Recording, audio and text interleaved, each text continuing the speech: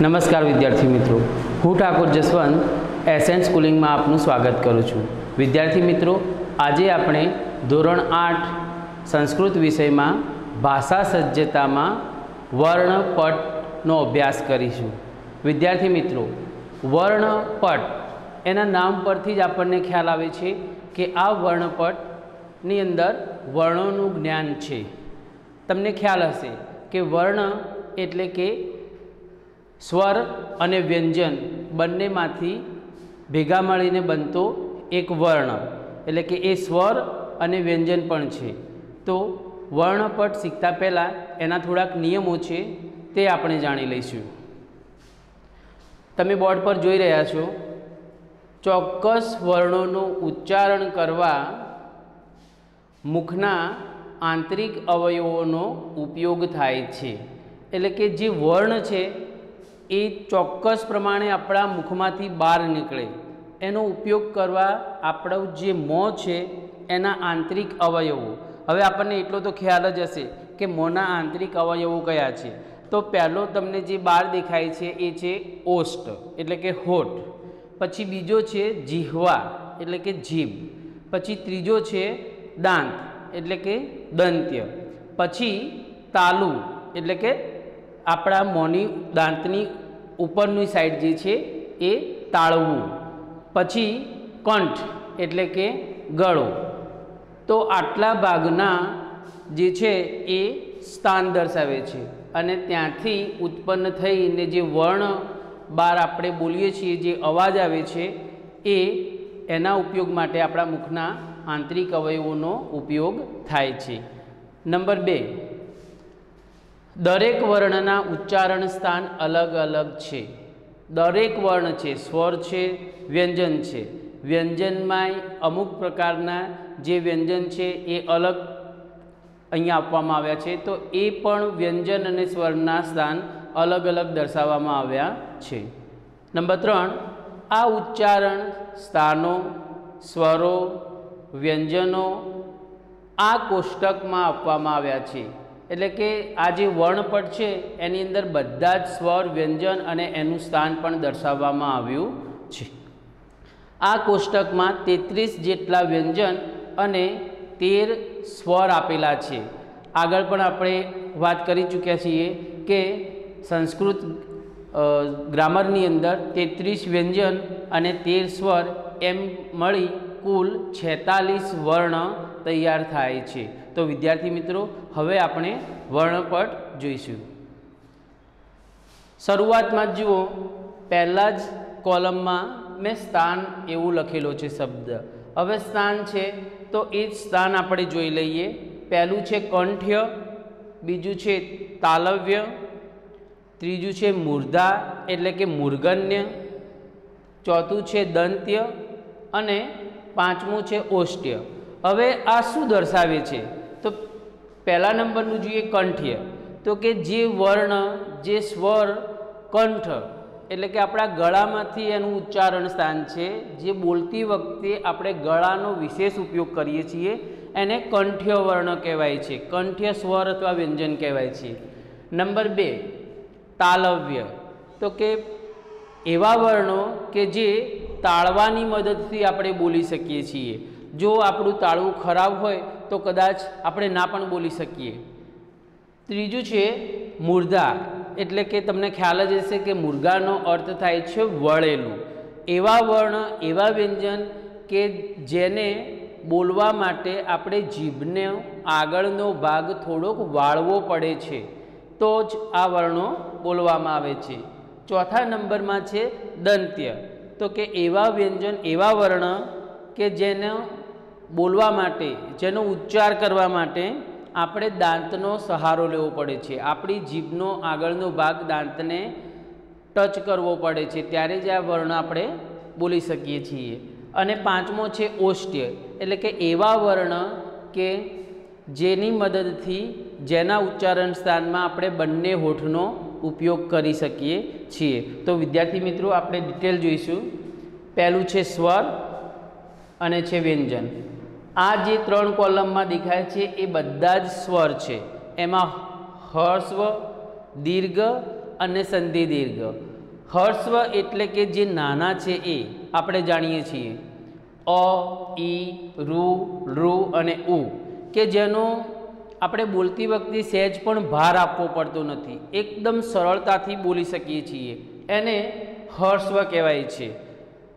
આ બોલવા માટે આપણે શરીરની વધારે પડતી એલર્જી એનર્જી આપણે ઉપયોગમાં નથી લેતા. એકદમ સામાન્ય સરળ રીતે બોલી શકીએ છીએ. પરંતુ દીર્ઘ, એટલે કે મોટા સ્વર, એ બોલવામાં આપણે થોડુંક જોરથી બોલવું પડે છે. આ, ઈ, રૂ ઉ, થોડોક ભાર આપવો પડે છે, થોડીક એનર્જીફુલ બોલવું પડે છે. ત્યારે ખ્યાલ આવે છે કે આ દીર્ઘ છે. સંધિ દીર્ઘ. સંધિ દીર્ઘ એટલે કે બે સ્વરો મળીને એક સ્વર થાય છે. સંધિ થાય છે અહીંયા. બે સ્વર. જેમ કે આ છે એ. તો એ કઈ રીતે બને છે? તો એનું આપણે એક એક્ઝામ્પલ જોઈ લઈએ. એ બરાબર. A plus E is equal to A તો આ સંધિ થઈ છે. અ અને ઈની સંધિ થઈ છે. માટે એ સંધિ દીર્ઘ સ્વર છે. પછી છે ઐ એ છે કંઠ્ય અને તાલવ્ય. એટલે કે બંનેના સંયોગથી એ સ્વર બોલવામાં આવે છે. એના પછી છે કંઠ્ય ઓષ્ટ્ય ઓ અને ઔ. એ પણ એવું જ છે. કંઠ એટલે કે ગળાનો અને હોઠનો ઉપયોગ કરી અને આ બંને સ્વર બોલી શકાય છે. તો વિદ્યાર્થી મિત્રો, સ્વરની તમને પૂરેપૂરી માહિતી મળી ગઈ છે. છતાં આપણે ઇન શોર્ટ ફરીથી જોઈ લઈએ. હર્ષ્વ સ્વર દીર્ઘ સ્વર સંધિ દીર્ઘ. હર્ષ્વમાં આવે છે અ ઈ રૂ રૂ અને ઉ. દીર્ઘ સ્વરમાં આવે છે આ ઈ રૂ અને ઉ. સંધિ દીર્ઘમાં આવે છે એ, ઐ, ઓ અને ઔ. હવે વિદ્યાર્થી મિત્રો, વ્યંજન જોઈએ. તો વ્યંજનના અહીંયા બે પ્રકાર આપેલા છે. અઘોષ વ્યંજન અને ઘોષ વ્યંજન. એમાં પણ બે વિભાગ છે. અઘોષ ઉષ્માક્ષર અને ઘોષ ઉષ્માક્ષર. હવે અહીંયાથી જ શરૂ કરીએ આપણે ઉષ્માક્ષર. ઉષ્માક્ષર એટલે કે એવો અક્ષર કે જે બોલતા શરીરની ઉષ્મા ઉષ્મા એટલે ગરમી, બહાર આવે. તમે જ્યારે હું બોલું છું ત્યારે પણ તમે ટ્રાય કરજો હ.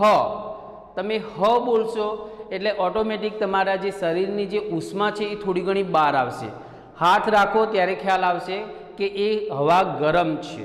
તો એવો વર્ણ કે જે ઉષ્મા ફેંકે છે એ હ છે. હવે અઘોષ ઉષ્માક્ષર.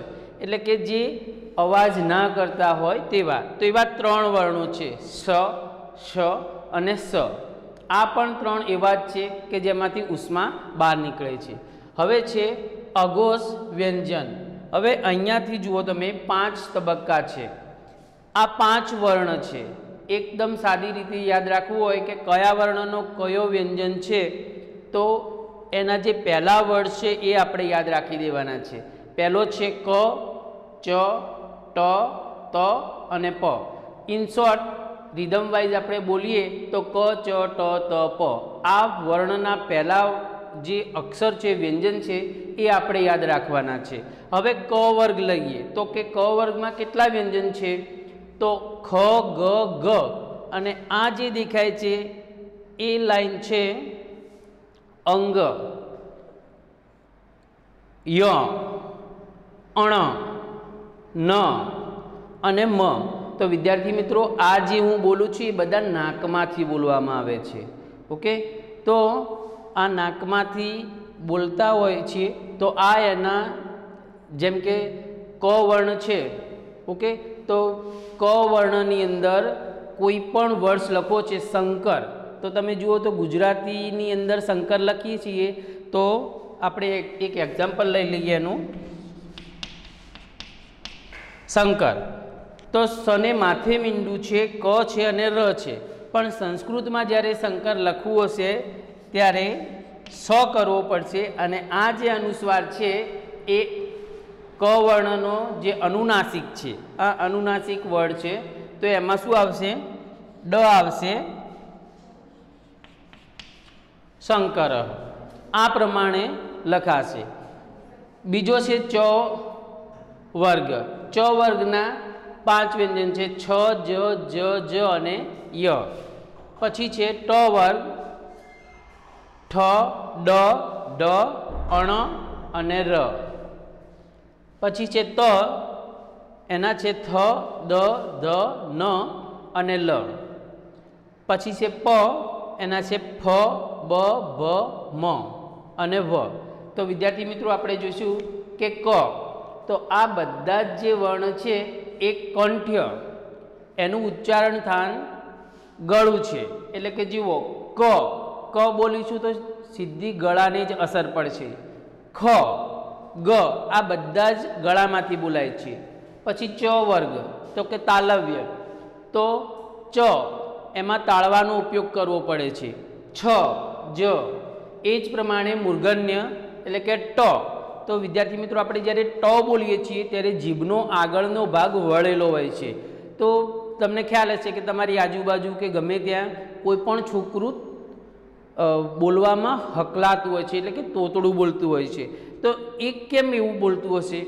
તો આ જે ઉચ્ચારણ સ્થાનમાં જે આપણા આંતરિક અવયવો છે, દાંત, હોઠ, જીભ, તાળવું, તો આ બધાનો મેચ એ જગ્યાએ પરફેક્ટ સ્થાનમાં થતો નથી, એટલા માટે એ છોકરો કે છોકરી તોતડું બોલતું હોય છે. એવું કહેવામાં આવ્યું છે કે સવારે વહેલા ઉઠી અને સંસ્કૃતના શ્લોક બોલવામાં આવે તો તોતડાપણું જતું રહે છે. કેમ? કેમ કે સંસ્કૃતની અંદર આ જે વર્ણપટ છે, જેનું સ્થાન છે, એ વૈજ્ઞાનિક દ્રષ્ટિએ પણ ખૂબ જ મહત્ત્વનું છે. એના પછી છે દંત્ય. તો દંત્યમાં ત છે તો ત, થ, દ, ધ અને ન. આ પાંચ વર્ણો એ દાંતને જીભનો ભાગ દાંતને ટચ કરે છે માટે જ આપણે બોલી શકીએ છીએ. તમે ત જે શબ્દ છે એને જીભને દાંતને ના અડાડો એ રીતે બોલો તો તમને ખ્યાલ આવી જશે કે ત બોલાતો નથી. અને લાસ્ટ છે ઓષ્ટ્ય ઓષ્ટ્ય એટલે કે હોઠ. તો પ, ફ, બ ભ અને મ. આ પાંચ વર્ણો આપણે બંને હોઠ ભેગા કરીને જ બોલી શકીએ છીએ. જો બે હોઠ ભેગા ના થાય, તો આ વર્ણો આપણે બોલી શકતા નથી. ઓકે, તો વિદ્યાર્થી મિત્રો, આજે આપણે ભાષા સજ્જતામાં વર્ણપટના સ્વર અને વ્યંજનનો અભ્યાસ કર્યો છે. નેક્સ્ટ વિડીયોમાં આપણે આગળ અભ્યાસ કરીશું.